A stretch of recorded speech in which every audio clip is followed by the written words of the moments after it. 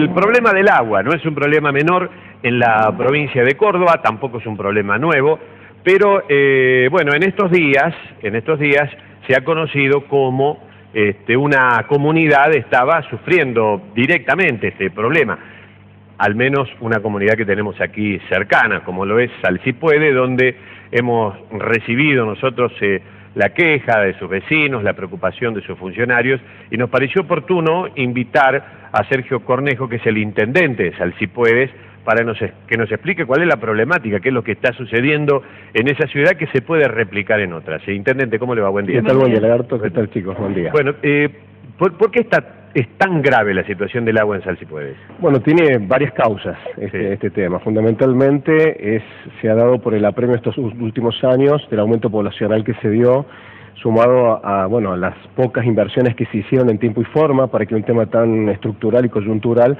pueda ir haciendo respaldo a las necesidades que tenía la gente. Sumado que, bueno, nosotros en estos tres años hemos intentado sacar adelante un municipio que también tenía enormes debilidades económicas, financieras y estructurales que se fueron agudizando en estos últimos tiempos y que además se hicieron más complejas con estas últimas sequías, profunda el año pasado y este año, bueno, que va en una realmente en un índice bastante preocupante. Ahora, ¿de dónde eh, normalmente se extrae el agua o cómo reciben ustedes y cómo se distribuye el agua potable ahí en Salcipuede? Nosotros estamos reflotando un viejo sistema que incluso en muchos aspectos ya no da más, de la extracción de 13 pozos. Sobre 13 pozos se trae el agua y se distribuye en los distintos sectores de la comunidad. Ha habido algunos intentos de proyectos, grandes todavía no. Eh, ha habido un intento hace dos años de una obra que todavía no se ha podido inaugurar, que ha tenido grandes problemas, que se toma desde el nacimiento del río y va por sierra hasta el sector de Cerro, Cerro del Sol, un barrio que cuando comenzamos la gestión inclusive había cortes de ruta y demás. Y estamos esperando un proyecto que se avanzó recién en este último año pasado sobre un nuevo perforado en un sector donde podría haber un poco de caudal, pero son paliativos a corto plazo. es decir, ¿ustedes toman agua de pozos o del río, o de las dos? Eh, justamente muchos de esos pozos están dentro del recorrido del río. Al estar seco el río, empieza todo este problema. Entonces dependemos de o tomas subalvias o de algunos sectores que pueden producir, pero hoy el nivel de los pozos está produciendo un promedio de un 30%. ¿Y cuáles serían las obras que hace falta realizar? Las obras son obras importantes, de mucha inversión, de definir ya si se va a tomar del nacimiento del río, que hoy es una idea que ya los técnicos la están sacando de lado, y ver si se va a tomar hacia, hacia el bajo del sector, en, el sector de llanura. Esto implicaría una obra de mucha infraestructura, implicaría mucha inversión porque hay que traer eh, el agua en sentido contrario a la gravedad, eh, requiere muchos millones. Entonces, bueno, nuestro municipio tampoco está en condiciones de poder ¿Las obras son, serían responsabilidad de la provincia o debieran ser encaradas por el municipio? Yo creo, que esto es un tema estructural, tiene que ser, tiene que estar en la agenda de políticas públicas de la provincia, de la nación y por supuesto de los entes municipales que estamos viviendo esta instancia para consolidar una temática como esta que no afecta solamente a Salsipué sino a la región y de ahí medir una política de Estado progresiva a 20 años, para decir, bueno, a ver, a 20 años con este crecimiento poblacional, qué obras se necesitan y qué pasos hay que dar para lograrlo. Ahora, Villa Silvina lo quiere demandar a usted personalmente.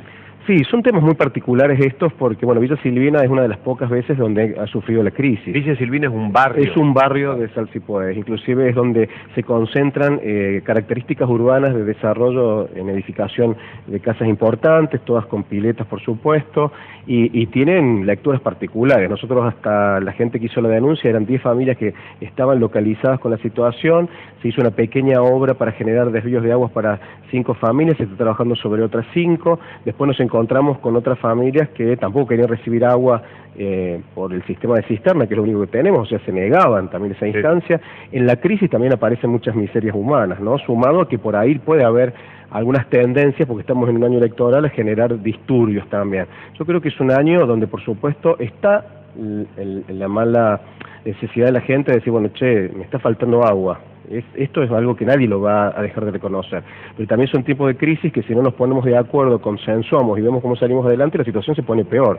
Sobre todo quienes presentan la denuncia son los nuevos eh, dirigentes del, centro vecinal ¿sí? del sector. Entonces, con más razón, si no coordinamos las necesidades que se tienen inmediatamente, entramos en una problemática que creo se, se hace peor. Yo escuché, no sé si es de Salchipuede o de alguna de las otras localidades, porque no es la única que tiene No, estos problemas de, de agua. Nosotros aquí cronicábamos otro día Villa Yardino, que también tiene casi la mitad este, de, de la ciudad sin agua. Eh, no sé cuál vecino de allí escuché y dice, no, ojalá que no llueva, así el problema se agudiza y hace esto obliga a que hagan las obras. Es decir, una cosa como pedir que seguir mal para ver si alguien le da la solución. Bueno, nosotros tuvimos la triste experiencia el año pasado que llegamos a, a tener el- la tres cuarta parte de la población sin agua. Sin agua. Hoy estamos hasta un 50% con riesgo de recibir agua en tiempo y forma, que no es lo mismo. El año pasado sí tuvimos una situación crítica, con mucha violencia, lamentablemente, eh, porque la gente lógicamente Sí, se pone en una situación de crisis.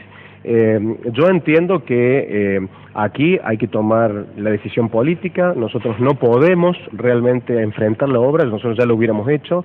También hemos sufrido que hemos hecho numerosas gestiones que están todas las evidencias para hacerlo, pero nos encontramos esto de que, bueno, eh, hemos tenido que superar muchos cambios de funcionarios en el área de recursos hídricos. Recién este último año el ingeniero Salamone aceleró todos los procesos de proyectos que teníamos nosotros, pero bueno, no- a corto plazo se van a dar y los resultados van a ser por lo menos paliativos, pero no hay una decisión hasta el momento tomada de decir, bueno, la solución de la región es esta, bueno, vamos a hacer el plan para que esto se vaya realizando. Ahí este, hubo un anuncio, no sé si seguirá o está en obras, de la construcción de una, de una inversión importante por ahí en la zona, creo que era de Bugliotti. Sí, Eh, así es. de Bugliotti, no Sí, sé si cual, está en obras o... y de dónde, por ejemplo, frente a este inconveniente del agua, de dónde ellos pensaban extraer el agua? Bueno, nosotros como municipalidad hemos dado aprobación a lo que se da como factibilidad de localización de la obra para que comience, pero no le hemos dado factibilidad del servicio de agua, no estamos en condiciones de hacerlo. Es la provincia quien ha dado toda la factibilidad y ha dado toda la, digamos, los resultados eh, ok para que se pudiera dar este tipo de emprendimiento. ¿Pero Este- está en obras eso? Está, no, no, no, ha comen- digamos, se han hecho toda la documentación, los papeles Ajá. están en regla, han empezado sí la construcción de, de un galpón para copiar material, pero la obra no ha empezado, ¿sí? Se supone que tiene aprobado ciertas perforaciones que supuestamente le alcanzarían para ese emprendimiento.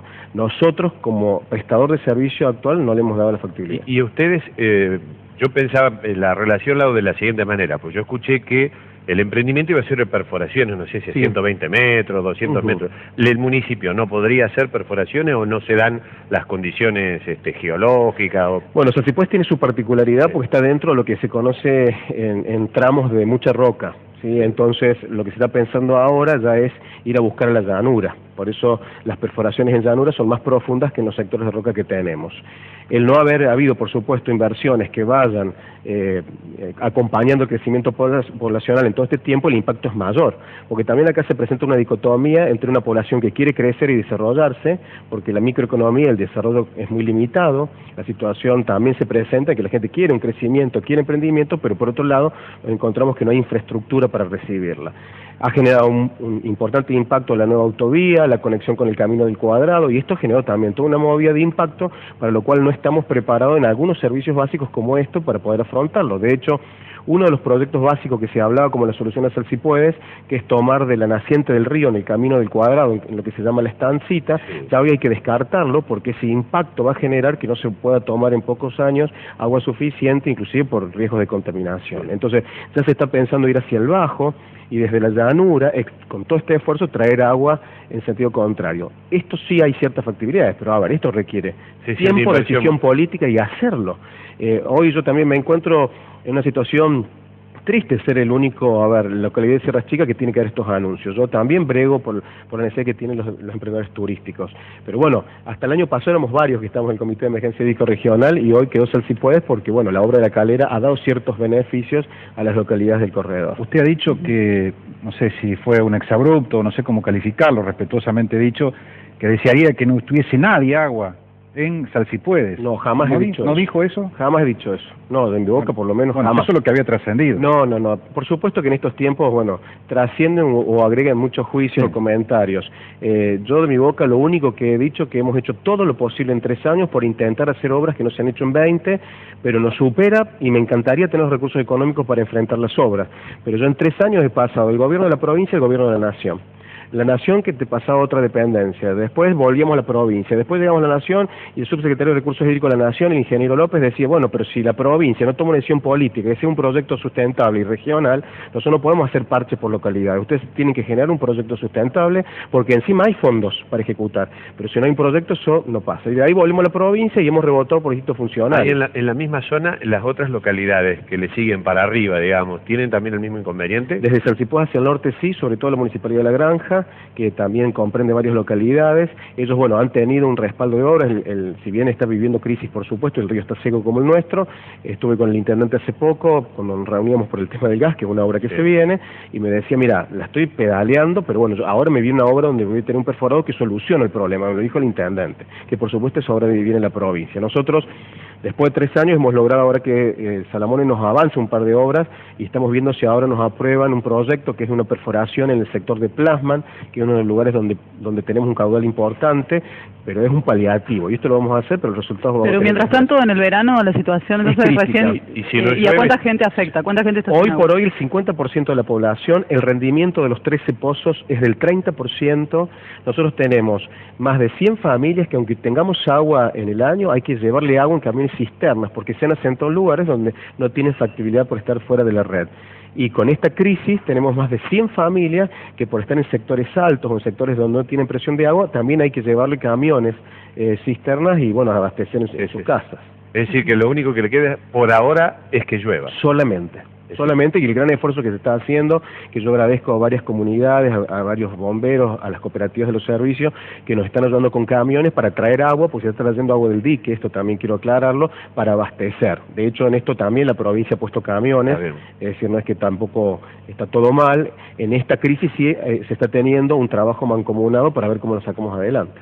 Bueno, muchas gracias, Intendente. Gracias Ojalá que puedan solucionar el, el problema. Bueno, queríamos conocer un poquito, porque la verdad que uno por allí de lejos no está al tanto de lo que sucede, y estamos hablando del agua, no estamos hablando de una tontera, estamos hablando del agua, un elemento esencial que obviamente debe ser eh, garantizado por el Estado. Bueno, está garantizado, en la Constitución está escrito, está claro, pero bueno, después los gobiernos no lo terminan garantizando.